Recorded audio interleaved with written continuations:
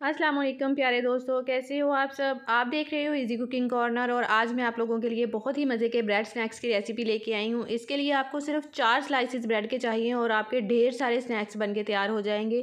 Filling भी इसकी इतनी मज़े की, इतनी क्रीमी और टेस्टी होगी कि आपको खा के मज़ा आ जाएगा। चलिए फटाफट बनाना शुरू करते हैं। इसके लिए मैंने एक पैन के अंदर डेढ़ चम्मच के करीब घी का डाल दिया है। घी डालें या ऑयल डाल लें। दो चम्मच मैंने इसमें बारीक काट के गाजर डाली है। हल्का सा इसे हमने सोते कर लिया है।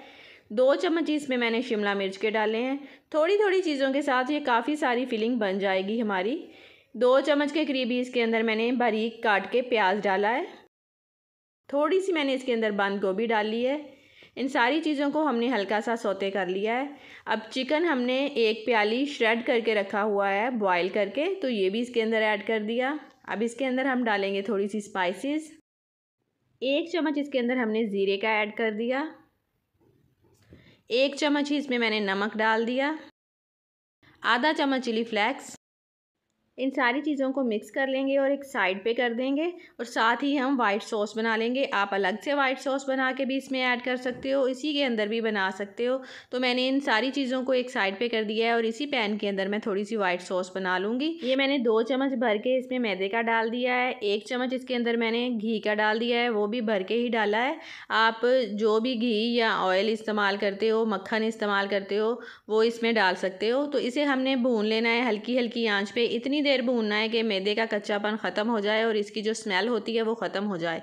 अब इन सारी वेजिटेबल्स में इस मैदे को हमने मिक्स कर दिया है और इसके अंदर आधा कप दूध का हमने डाला है थोड़ा थोड़ा करके और इसे हमने मिक्स कर दिया है। ये मैंने आधा कप इसमें दूध का डाल दिया है। ये देखें, इसमें वाइट सॉस बन चुकी है। आप ऐसे साथ में भी वाइट सॉस बना के ऐड कर सकते हो और अलग से भी बना के इसमें ऐड कर सकते हो। अब इसे हम इतनी देर पकाएँगे कि ये हमारी अच्छी सी फीलिंग बन जाए, जो कि हमारी ब्रेड के ऊपर ठहर सके। इसे हमने पतला सा नहीं रखना, थोड़ा सा सख्त करना है। ये देखें, बहुत अच्छी हमारी फिलिंग तैयार हो चुकी है। अब इसे थोड़ा सा ठंडा करेंगे। ये देखिए, ठंडा होने के बाद हमारी फिलिंग कुछ ऐसी हो चुकी है। अब ऐसे हमने एक स्लाइस ब्रेड का लेके इसके ऊपर ऐसे फिलिंग को लगा देना है, सारे के ऊपर फैला के। अच्छी तरह इसे हमने ऊपर से कवर कर देना है। मैंने ये चम्मच के साथ ही इसे सारे के ऊपर देखें, ऐसे फैला के लगा दिया है। देखिए बहुत अच्छी फिलिंग हमारी सारे स्लाइस के ऊपर लग चुकी है। अब इसके हम ऐसे पीस कट कर लेंगे। ये देखें, ऐसे मैंने इसके तीन पीस कर लिए हैं। आप इसे ऐसे पीसीज में भी कट कर सकते हो, दो पीसीज में भी कर सकते हो स्क्वायर में भी कर सकते हो ट्रायंगल में भी कर सकते हो। ये आप लोगों की चॉइस पे डिपेंड करता है। लेकिन हम बना रहे हैं ब्रेड फिंगर तो इसलिए मैंने इसे लंबे स्लाइसिस में काटा है। आपने जितने स्नैक्स बनाने हों, उस हिसाब से आप ब्रेड के स्लाइसिस लेके, उनके ऊपर ऐसे फिलिंग लगा के तो उनके पीस कट कर लें। तो मैं ये सारे पीसीज कट कर लूँ तो फिर आगे आपको बताती हूँ हमने क्या करना है। ये देखिए मैंने चार स्लाइस लिए हैं। चार स्लाइसिस के साथ मैंने ये इतने सारे स्नैक्स बना लिए हैं। अब हम इनको बाइंड करने के लिए कि ये जो फिलिंग हमने ऊपर लगाई है उतरे ना तो एक घोल बनाएँगे। इनके ऊपर एक कोटिंग लगाएँगे। कोटिंग के लिए मैंने तीन चम्मच मैदे के लिए हैं। उसके अंदर मैंने आधा चम्मच नमक का डाला है और आधा चम्मच ही ज़ीरे का डाला है। पानी डाल के एक पतला सा हमने इसका घोल बना लेना है। ये देखिए, मैंने इसके अंदर पानी डाल दिया है और इसे मिक्स कर लेंगे। इसे हमने पतला सा बनाना है। ये थोड़ा गाढ़ा है तो मैं इसमें थोड़ा सा पानी और डाल रही हूँ और इसे मिक्स कर लेंगे। इसकी बस हमने एक हल्की सी ऊपर लेयर बनानी है, जो हमने इसके ऊपर फिलिंग लगाई है। ये निकल ना जाए, इसीलिए इसे हमने ऊपर लगाना है। तो इसके ऊपर लगाने के लिए मैं थोड़ी सी ब्रेड क्राम ले रही हूँ। ये देखिए, अब ऐसे स्लाइस उठा के इस घोल के अंदर हमने डिप करना है और ऊपर ब्रेड क्रम लगा लेंगे ताकि ये मज़ीद क्रिस्पी बने।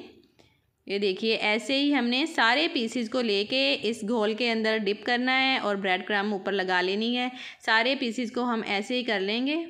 ये देखिए, मैंने सारे पीसीज को लगा ली है ब्रेड क्रम भी और वो जो मैदे का हमने घोल बनाया था, वो भी। अब इनको हम फ्राई कर लेंगे। फ्राई करने के लिए मैंने ऑयल पहले से डाल के रखा हुआ है, इसे गर्म कर लिया है। अब इसके अंदर हम वन बाय वन करके ऐसे ये पीसीज डालते जाएँगे और इन्हें फ्राई कर लेंगे। ये मैंने फ्राई करने के लिए इन्हें अंदर डाल दिया है। अब मीडियम आँच के ऊपर इन्हें हमने फ्राई करना है। एक से डेढ़ मिनट के बाद हम इनको पलट लेंगे। फिर दूसरी साइड से भी फ्राई कर लेंगे। क्रिस्पी होने तक हमने इनको फ्राई करना है। आँच को मीडियम रखना है। ना बहुत ज़्यादा तेज़ करनी है कि ये जल जाएँ और ना ही हल्की रखनी है। हल्की करने से ब्रेड ऑयल को अपने अंदर सोक कर लेगी, जो कि हमें बिल्कुल नहीं चाहिए। ब्रेड के अंदर अगर ऑयल चला गया तो ये बहुत हैवी हो जाएँगे। इसलिए हमने इन्हें मीडियम आँच पर फ्राई करना है, ताकि ये कुरकुरे से बने, बहुत ही क्रिस्पी से। ये देखिए, दोनों साइडों से फ्राई हो चुके हैं और ऑयल भी इतना ज़्यादा नहीं लगा। तो ये देखिए, माशाल्लाह बहुत ही मज़े के क्रिस्पी से फ्राई हो गए हैं। सारे फ्राई कर लूँ, फिर आप लोगों को दिखाती हूँ। ये देखिए, माशाल्लाह ये सारे फ्राई हो चुके हैं। ये इनकी फ़ाइनल लुक, कितने ये ऊपर से क्रिस्पी लग रहे हैं। ये देखिए, माशाल्लाह बहुत ही टेस्टी ये बने हैं और बहुत ही ये कुरकुरे से हैं। आप इसे केचप के साथ वाइट सॉस के साथ इंजॉय कर सकते हो। ये देखिए, माशाल्लाह, बहुत टेस्टी बने हैं। तो मैं आप लोगों को ये तोड़ के भी चेक करवा देती हूँ कि अंदर से ये कितने मज़े के सॉफ्ट हैं और ऊपर से देखिए, ये कितने मज़े के क्रिस्पी से हैं। ये देखने से ही पता चल रहा है कि ऊपर से कितने क्रिस्पी हैं। अंदर से मैं आप लोगों को तोड़ के चेक करवा देती हूँ। ज़रूर ट्राई कीजिएगा इस रेसिपी को। आप इसे अफ्तार में भी ले सकते हो, इसे वैसे चाय के साथ भी खा सकते हो।